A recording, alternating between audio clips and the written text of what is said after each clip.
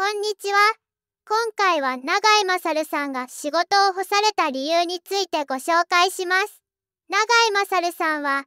新潟県糸魚川市の出身の誕生日が1978年5月20日の44歳で、2014年に共演していた中越典子さんと結婚され2児の父親です。2001年に未来戦隊タイムレンジャー浅見達也役で正義の戦隊として子供のヒーローだけでなく爽やかな笑顔で母親のハートも掴んだ永井勝さんのデビューでした。その後も特命係長ただのシリーズで人気を得て NHK ドラマ新選組結風録で土方歳三役サラリーマン金太郎のリメイク版などドラマ映画バラエティで活躍されていた永井勝さんでした。身長185センチメートルで空手2段。スポーツ系のバラエティにも出演し活躍していました。このように活躍されていた永井勝さん。なぜ仕事を干されたのか5つの理由についてご紹介します。仕事を干された1つ目の理由は2012年のペニーオークション事件です。ベニーオークション事件は人気商品を格安で落札できると歌い文句に会員を募りましたが、実際はある一定価格にならないと購入できなかった。落札したように芸能人が見せることで信用を得ていたが、実際は落札していない。落札した入札者から手数料も取っていた詐欺事件に関わっていたのは、爽やかな正義のヒーローにはイメージダウンですね。長井勝さん自身は詐欺行為との認識がなかった可能性も長井勝さんだけではなく多くの芸能人が関わっているのは芸能人と同じものが欲しいとのファン心理を利用したものですね。芸能人は信用される広告塔にされやすいので気をつけたいですね。仕事を干された2つ目の理由は金銭トラブルです。2015年には週刊文春に不動産取引をめぐる金銭トラブルがあることがスクープ永井勝さんは知人と共に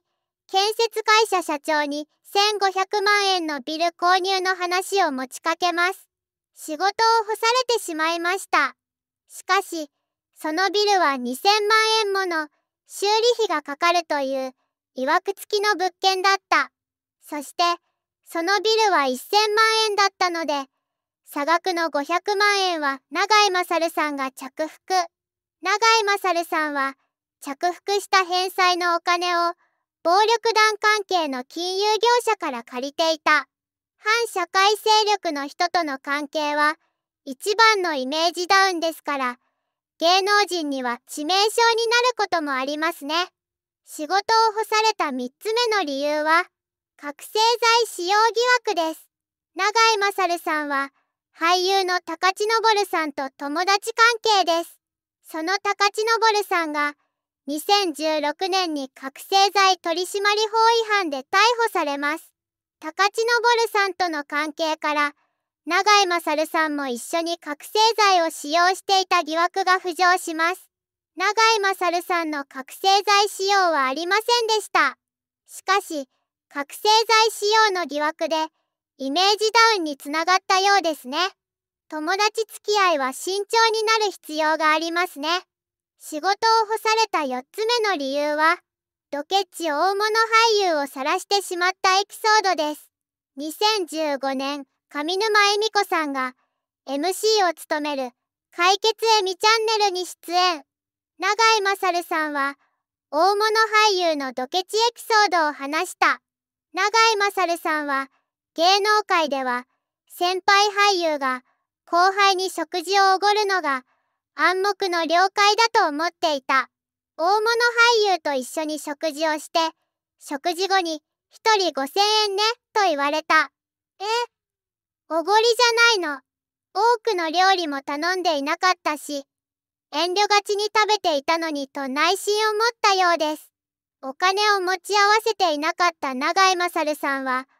大物俳優に貸してあげると言われ、愕然としたエピソードを暴露した。その時、元刈谷結香さんと共演していて、断食をしているという話から、その大物俳優が榎木隆明さんと判明。榎木隆明さんは冗談だったのか、食事代は榎木隆明さんが支払われていたようです。面白く、このような話がエピソードとして暴露されますが、それが大物俳優の逆鱗に触れることもありそうですね。榎木隆明さんは冗談で言っただけと笑ってコメントされていますが、実際の気持ちはどうだったのでしょう。仕事を干された5つ目の理由は、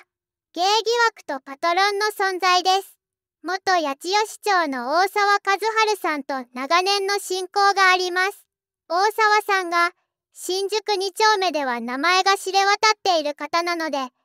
永井勝さんも芸なのではとの噂が流れました。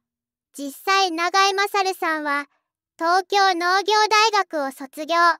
大学時代には新宿2丁目でのバイトの経験もあります。その大学時代に